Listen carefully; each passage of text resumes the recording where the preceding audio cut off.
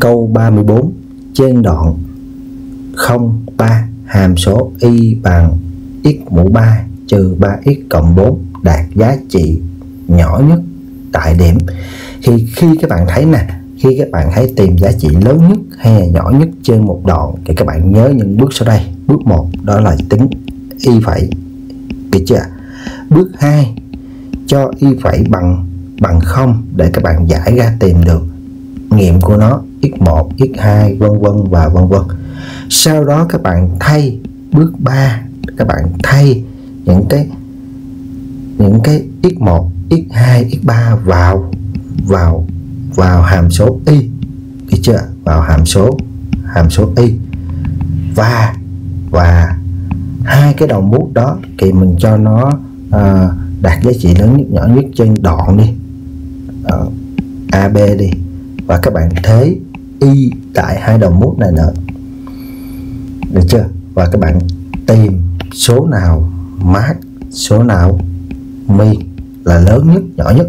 Được chưa vậy mình có y bằng x mũ 3 trừ 3x cộng 4 trên đoạn từ 0 đến 3 y phẩy bằng 3x bình trừ trừ 3 y phẩy bằng bằng 0 vậy tương đương mình giải ra là, sẽ ra là 3x bình trừ 3 bằng 0 thì tương đương x bình trừ mang 3 là làm nhân tử chung.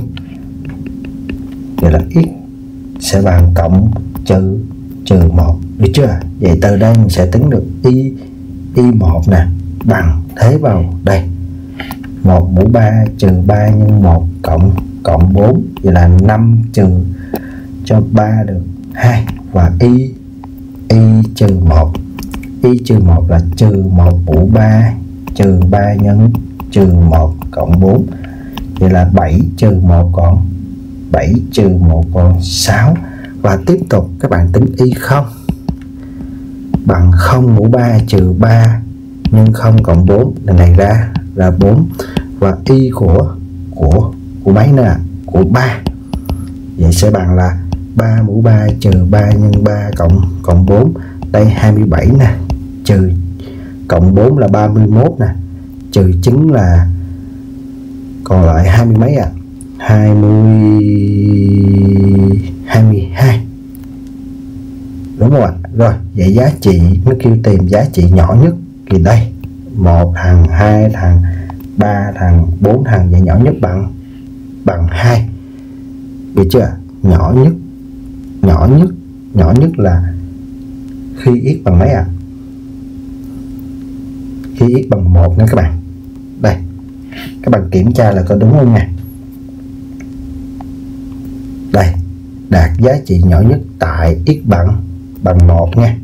X bằng 1 đây, giá trị nhỏ nhất đây. Và x bằng bằng 1 cẩn thận nha các bạn.